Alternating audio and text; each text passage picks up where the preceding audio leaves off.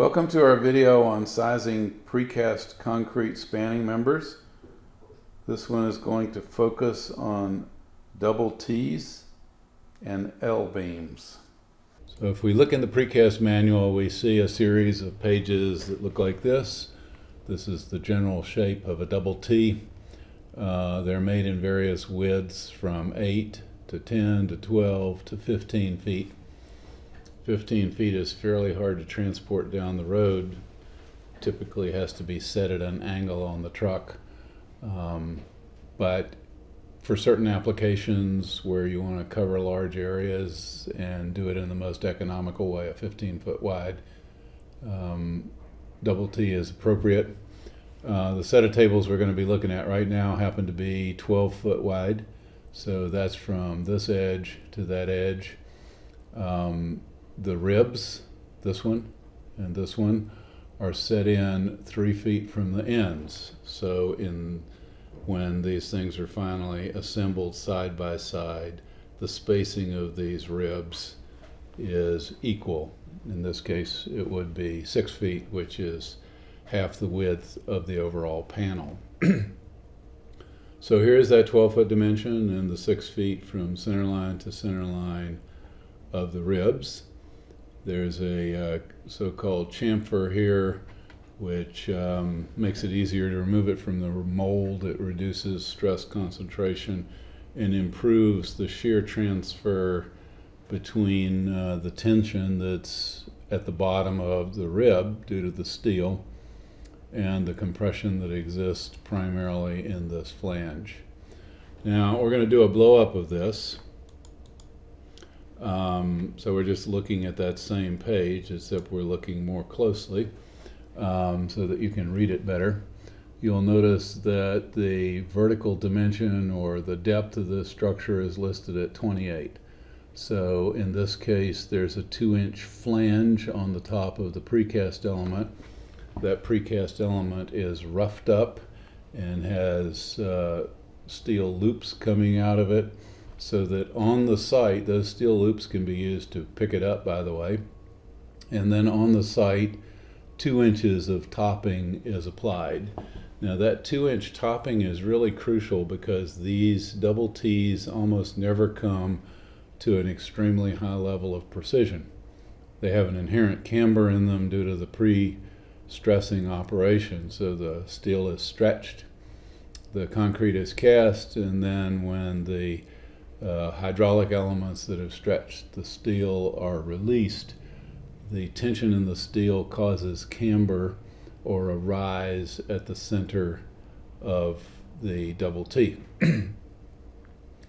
um, so we have to smooth out some of that camber, but also the double T's are never uh, cambered to exactly the same height. So there will be little edges where the two members meet if you tried to put carpet down on that, the carpet would become quickly damaged, but people could even stub their toes on the slight irregularities from one panel to the other. So the topping layer is a way of smoothing all that out in the field to give a satisfactory finished floor. um, this particular double T has the following designation. Uh, 12 is the 12 foot width DT stands for double T. The 28 is the depth, the structural depth in inches, and then the plus 2 means that there's a topping on it. And you'll notice that it, this is this particular table is for normal weight concrete double T's with a 2 inch normal weight topping.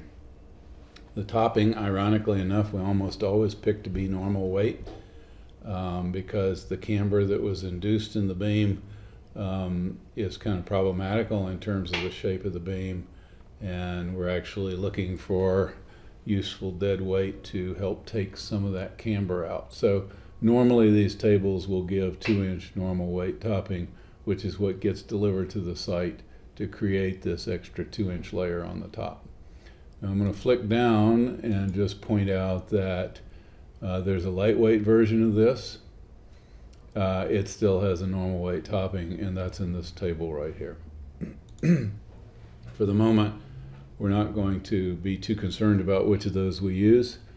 Um, but we want to step through the rest of these tables and understand what the tables are about, and then we'll come back to that issue. All right, so up in the upper left-hand side here, we have something called the strand pattern. Um, the first number, or the first two digits, is the number of strands. Um, in this case, there are 16 of them. Um, 8 is the diameter of the strands in sixteenths of an inch. So 8 sixteenths would be half inch diameter cable. And then there's either an S or a D. If it's S, it means the steel is pulled straight everywhere. Um, if there's a D, it means that it's depressed. And what we mean by that is we might have the steel coming to the top of the rib or near the top of the rib at the ends and then being pushed downward so that it's near the bottom of the rib at center span. And in fact, we can have a D1, which is depressed just at the center span, or we can have a D2, which has two depression points, uh, roughly near the quarter points. Generally speaking, though, the industry discourages you from using depressed strand because it costs extra money to perform that operation of pushing the steel down uh, to make that shaping of the steel. And it's a non-trivial thing when you've got a steel cable that's stressed at 170,000 pounds per square inch. It's not easy to reshape that through the use of force. Uh, so generally speaking, those are, are uh, measures that we'd like to avoid if possible. But you can have a D1 or a D2 uh, depending on the number of depressions that uh, are called for. So we're going to uh, try to think in terms of how we might use this material to frame out an office building. We've talked about the fact that office buildings are um, designed to 80 pounds a square foot in the actual offices spaces, 100 pounds a square foot in any corridor space. We've mentioned that it's probably a good idea if you're designing a spec building and you don't even know where the corridors are going to get laid out to uh, design for 100 pounds a square foot of live load. Um, some people think that just doing that without uh, at least looking where the uh, circulation patterns might be and understanding what the possibilities are is a mistake. In our case, we're gonna we're going to say that.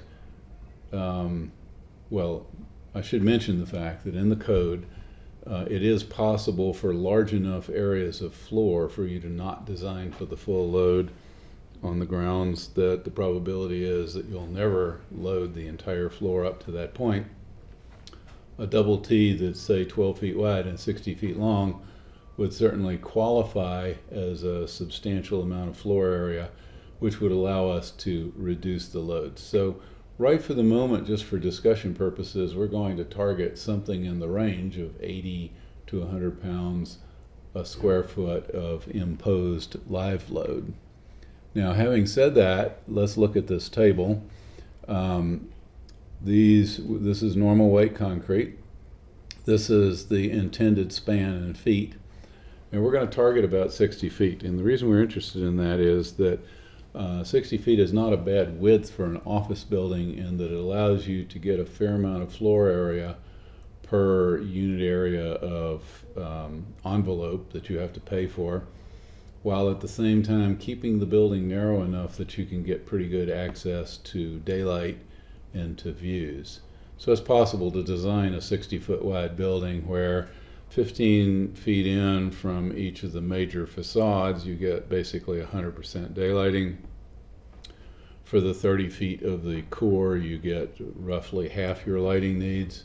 And with the proper layout, you can make sure that everyone in that building has good views of the outside in at least one direction and often two. So we're going to kind of look at 60 feet as a reasonable number to go after. 60 feet is also interesting because that's the width of space that we typically design to for double loaded uh, parking. So if we wanted to have parking under this building, a 60 foot free span would also be good. And in fact, you may notice from your experience in life that double T's are extensively used in parking deck applications. So this technology easily spans up to the order of 56 to, 50, to 60 feet. So if we look at 60 feet as our target span and we say, okay, we're going for 80 or 100 pounds a square foot, when we scan down here for these 28 inch deep members, we have to go down to a 188 D1. So this is 18 strands of 8 16ths inch cable or half inch cable. There's one depression at the center and we're able to get 85 pounds a square foot of superimposable load. This is the table of safe superimposed loads in pounds per square foot, and it also gives cambers. So one of the things I should note right here is that this table doesn't bother with factored loads. It doesn't even burden you with worrying about dead loads or the self-weight of the structure. They have organized their tables in terms of safe superimposed service load. So these are very user-friendly tables. I'm saying I'm targeting somewhere around 80 or 100 pounds a square foot, and I look down here and it says 85, which says I can safely superimpose 85 pounds a square foot, which would probably be perfectly satisfactory for this design. The one thing that I'm looking at is this D1, and I know already from reactions I've gotten previously from the precast industry if they can avoid doing that depression, they would like to do that. So what we're going to do is we're going to jump up in this table and we're going to go to uh, a deeper beam. Before I do that, by the way, I, I do want to mention the following. This topping is field applied. It's the porous quality concrete. They get much more, much better quality concrete in the factory environment. So the double T itself is superior to that topping and that topping often has freeze thaw problems uh, in parking decks during wintertime. So the precast industry makes what they call a pre-topped, which is a really bizarre term. It merely means that it comes out with a four inch flange instead of a two inch flange, and there's no intention of putting a topping on it in the field. So the connection between the two occurs due to welded uh, embeds uh, at the connection between one of these and the adjacent one. Um, and that's why in parking decks you can often walk along them and maybe even see daylight through the cracks. And you do have irregular, irregular uh, surface issues where two of these meet each other, but typically we put up with that in parking decks on the grounds that people are going to be a little more careful there. We're not putting carpet down, they're not going to trip on it. Uh, we're not going to damage the carpet.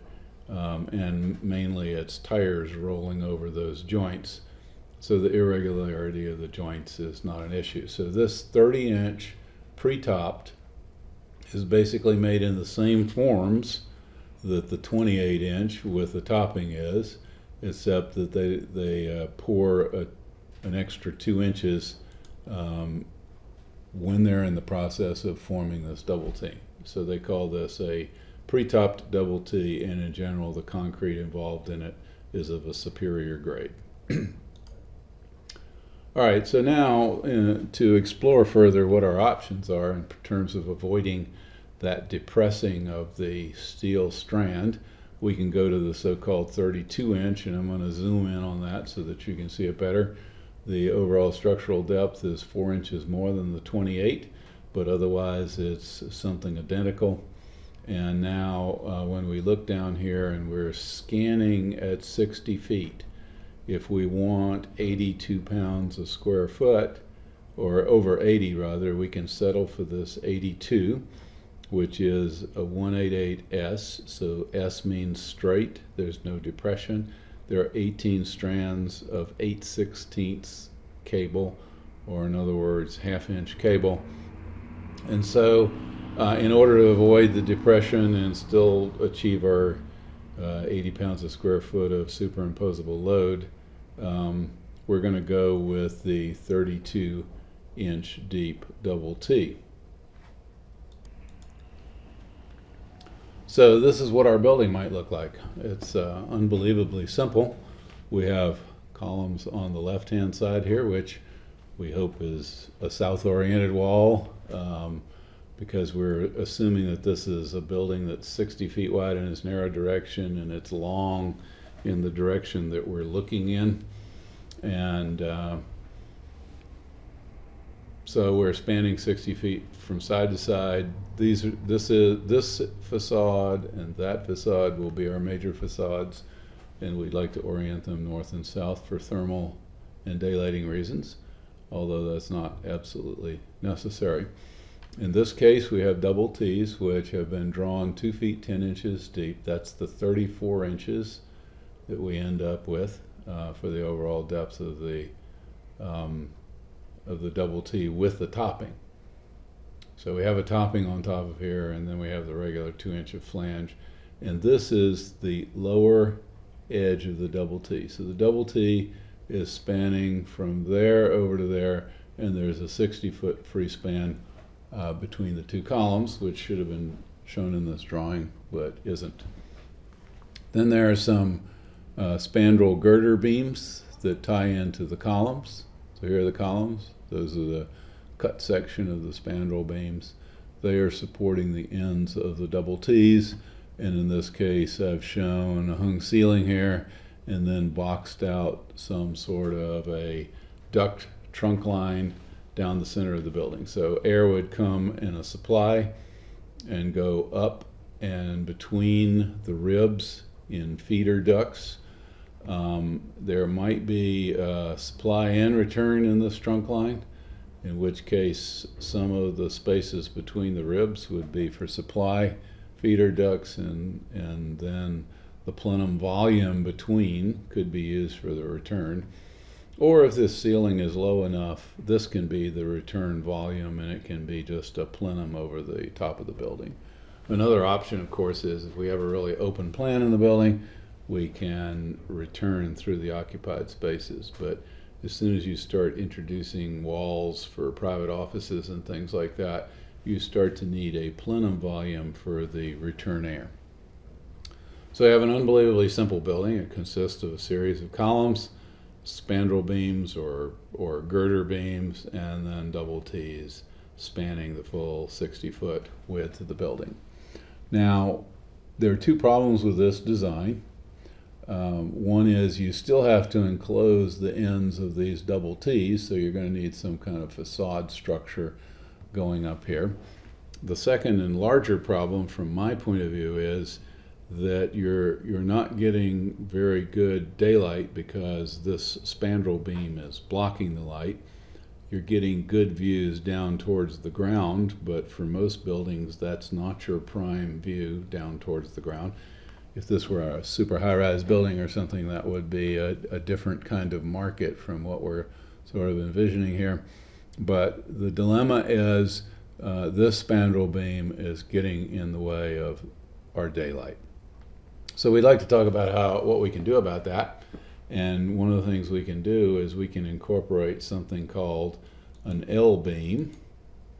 And that looks something like the following. So this is what that table looks like uh, this is what it looks like blown up. So a typical dimension here might be one foot in that direction with a large degree of variability in terms of H. And by the way, in this table, they show H going from 20 to 60, but that 60 feet is not uh, a limit. They just wanted to put some limit on their table. So that number could go higher if you wanted it to. So for a one foot rectangular beam, we put this ledger piece out and it is extended eight inches in order to provide a seat for the double T's to sit on. And then the depth of this is eight inches in order to allow you to get some steel stirrups in there in order to assure that this ledger is properly engaged with the rectangular beam. So this eight inch extension and at least eight inches of depth um, are two uh, crucial uh, characteristics of this type of beam. So the nice thing about this beam is instead of sitting totally underneath the double T's, it actually provides the ledger for the double T's to sit on, and then the spandrel beam goes and encloses the ends of the double T's and also uh, um, uh, can go much higher for structural reasons. So um, the set of tables typically are in pretty coarse units. You can have a one foot dimension here, or in this case, a, a one foot six inch dimension um, in order to uh, get a sturdier beam here, basically. So these tables tell you the allowed loads. For the moment, though, rather than focus on sizing these beams, I think we want to go look at what this looks like architecturally. So here we have um, an L-beam with its 8-inch extension and 8-inch deep um, ledger. Sitting on top of that is our 60-foot long double T. Uh, this is the lower edge of that double T right here. And this is the hung ceiling. So there's the edge of the double T, and it sits on top of the L-beam. In this case, I brought the L-beam up two feet six inches, which is the height of what we call the work plane. That's the typical height for a desk surface. I generally don't like to bring the spandrel beam up any higher than that because it starts to shade the desktop. So right at the point where you'd expect to have the best daylight or the most ample daylight right next to the window, you can end up with a shadow line. So generally, I would try to never bring this up more than three feet, and two feet six inches is about right. Now, when we count for, account for the overall 34-inch depth of the double T and the 8-inch depth of the ledger, and then this two and a half feet uh, of material up above the uh, finished surface, the overall depth of the spandrel beam is six feet.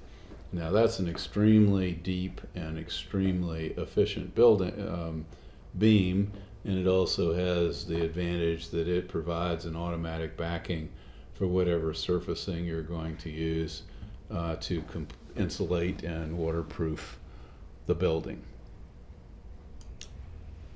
So what we've ended up with is if we put this ceiling at the lower, line it up with the lower edge of this L beam, um, we end up with an 11 foot 2 inch ceiling, which is really excellent from a daylighting point of view.